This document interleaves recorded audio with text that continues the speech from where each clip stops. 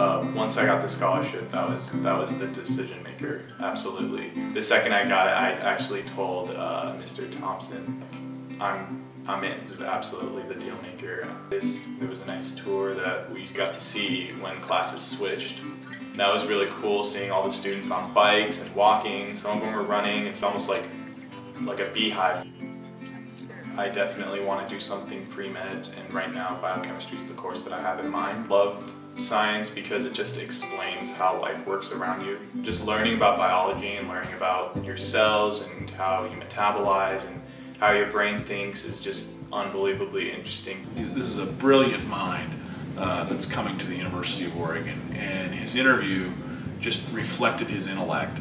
Um, but he's also passionate about other things like sports think he's going to be a big Ducks football uh, fan. Uh, he likes to play tennis.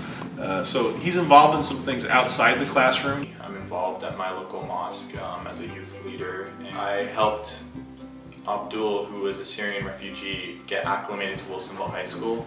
So he spoke little to no English at all when he moved here to Wilsonville. So um, immediately the counselors contacted me because they know that I speak Arabic and I'm fluent in it, so I was just helping him out. I can't imagine what it's going to be like being in the student section with thousands and thousands of other students in, in Eugene, going to, to football games at Autzen or to, to just go, like, go crazy.